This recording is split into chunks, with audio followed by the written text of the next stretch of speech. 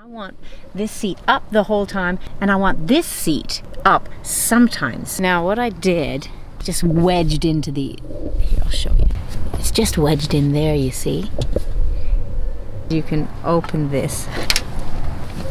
Okay, so this is my living room. There's the food storage under there.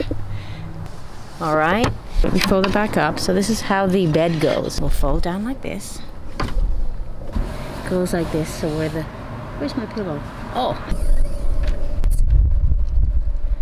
Have this container permanently somehow for storage and then it's going to be sitting on like a, a drawer, like a permanent sort of um, headrest, bed, bed, it's called bedpost, not bedpost, headrest, headrest, bed, you know those things, yeah.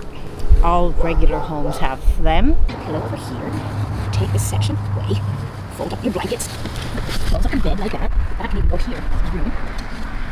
Fold this back up. You see, that's the reason why I want this up high.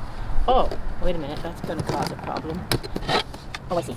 Okay, so the that door is gonna have to be just that short so that this can, yeah, like that. Ta-da!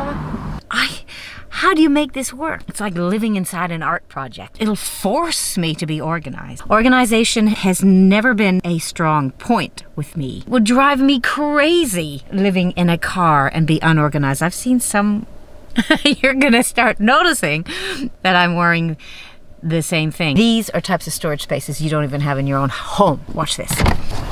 Number one, look at this.